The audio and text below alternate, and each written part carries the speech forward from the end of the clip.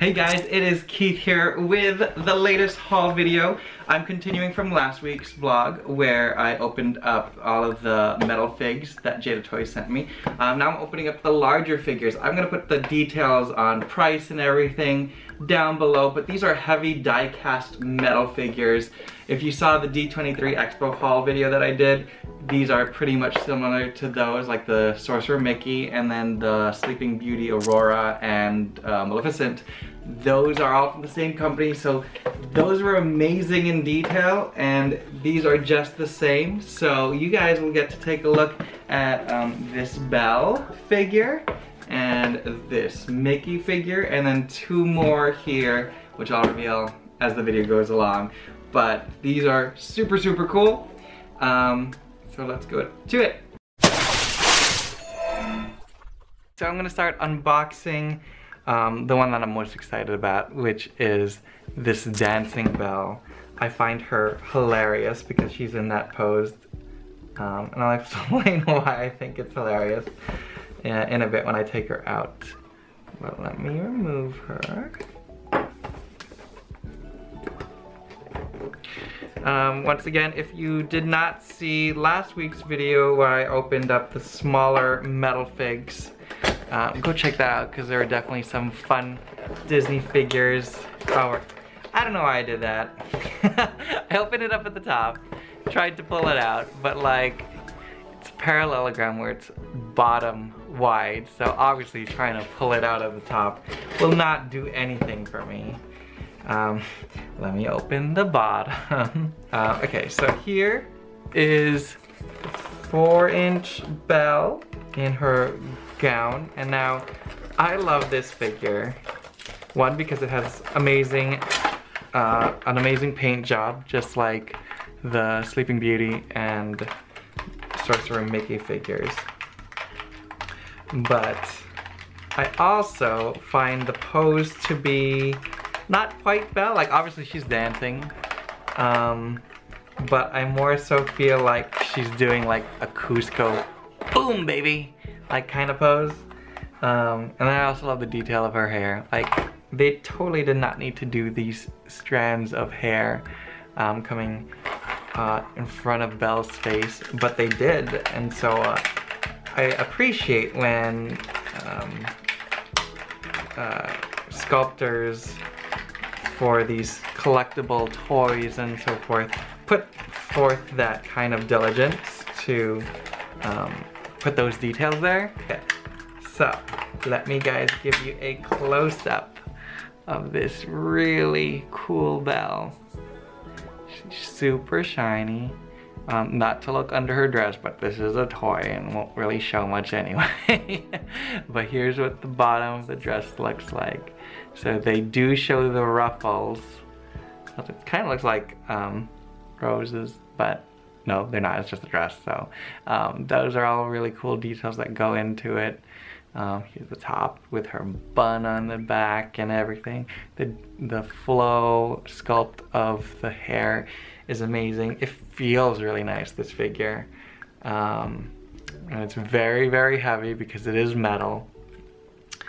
And yeah, it's such an elegant pose that I will proudly display somewhere, probably in my office. So the next figure that I'm gonna open up will be this Belle, um, Villager Belle, or Provincial Belle rather. Um, I also like how they put the, the art, the 2D art of their figure. In the front, here's Provincial Belle, and because she is on like a um, weird step where she's not putting her foot down completely. They do put this little peg here so she has like a tripod pose. So like that, she does stand up straight. Um, but yeah, here's a close-up of Provincial Belle. Amazing paint job once again. I can't stress how good the paint jobs are on these. Um, I'm very selective about toys and collectibles that I buy because um, if the eye, it's, it's, mostly the eyes. If they, they're messing up the eyes, they're doing something wrong. And Jada Toys are not messing up the eyes in these uh, relatively large figures. Um, In fact, it's a style that I really admire, kind of because it's similar to my style when I do eyes. So it's really, really cool.